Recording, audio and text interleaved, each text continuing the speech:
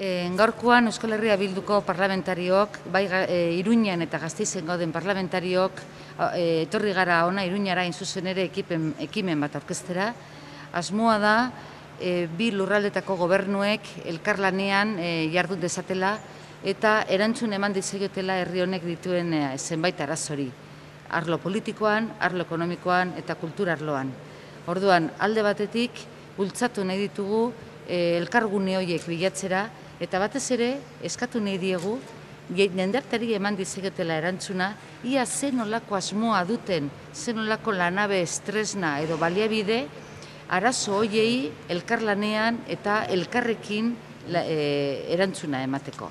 Uste dugu jendarteak eskatu egiten duela, eta e, Euskal Herria Bilduk animatu nahi ditu erantzun horiek emate.